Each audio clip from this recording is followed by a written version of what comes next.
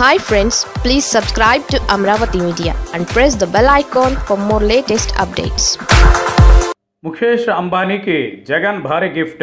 హఠాత్తుగా ఇద్దరి భేటీ అందుకేనా? రిలయన్స్ ఇండస్ట్రీస్ అధినేత ముఖేష్ అంబానీ ఏపీ ముఖ్యమంత్రి వైఎస్ జగన్ను తాడేపల్లిలోని సీఎం క్యాంప్ కార్యాలయంలో కలిశారు. అంబానీతో పాటు చిన్న కుమారుడు అనంత్ అంబానీ రాజ్యసభ సభ్యులు పారిశ్రామికవేత్త పరిమల్ నత్వాని కూడా సీఎం జగన్ను కలిశారు. ఆంధ్రప్రదేశ్లో తమ కంపెనీల ఏర్పాటు వివిధ ప్రాజెక్టులపై వీరు సీఎం జగన్తో చర్చించడంతో పాటు ఇతర రాజకీయ అంశాలను కూడా చర్చించినట్లు తెలుస్తోంది. ముఖేష్ అంబానీతో పాటు రాజ్యసభ ఎంపీ పరిమల్ నత్వానీ ఆకాష్ అంబానీలు సీఎంతో భేటీ అయ్యారు.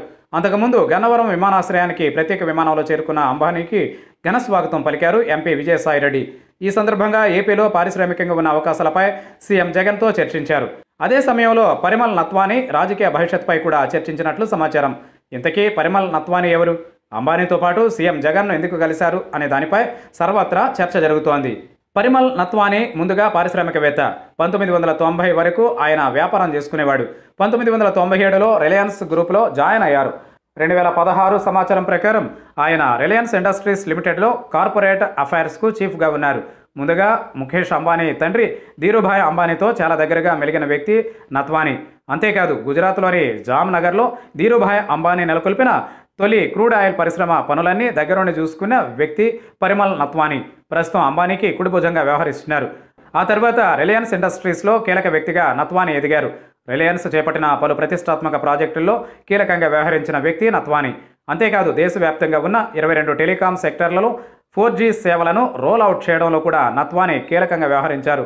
ఇక రాజకీయంగా చూస్తే నత్వాని రెండుసార్లు బీజేపీ నుంచి రాజ్యసభ సభ్యుడిగా ఎన్నికయ్యారు. జార్ఖండ్ నుంచి తొలిసారిగా రెండు వేల ఎనిమిదిలో పెద్దల సభకు ఎన్నిక కాగా తిరిగి రెండు వేల పద్నాలుగులో కూడా రాజ్యసభకు ఎన్నికయ్యారు. ఇక ఈయన పదవి ఏప్రిల్ తొమ్మిదితో ముగియనుంది. అయితే జార్ఖండ్లో ఈసారి జేఎంఎం ప్రభుత్వంలోకి రావడంతో ఆ రాష్ట్రం నుంచి బీజేపీకి రాజ్యసభ స్థానం లేనట్టే. ఈ క్రమంలోనే తిరిగి పరిమళను రాజ్యసభకు పంపేలా బీజేపీ వ్యూహాలు రచిస్తోంది. ఇందులో భాగంగానే పరిమళను ఏపీ నుంచి పెద్దల సభకు పంపాలని యోచిస్తోంది. ఇక ఏపీ సీఎం జగన్ ఢిల్లీ పర్యటనకు వెళ్ళిన సమయంలో కేంద్ర హోంశాఖ మంత్రి అమిత్ షాను కలవడంతోనే దీనిపై ఒక డీల్ జరిగినట్లు సమాచారం.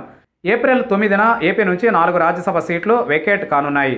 వైసీపీకి మెజారిటీ ఉన్నందున నాలుగు సీట్లు ఆ పార్టీ ఖాతాలోకి వస్తున్నాయి. ఇక్కడ మూడు సీట్లను వైసీపీ అభ్యర్థులకు కేటాయించి మరో సీటును బీజేపీకి కేటాయించేలా ఢిల్లీ సమావేశంలో డీల్ కుదిరినట్లు సమాచారం.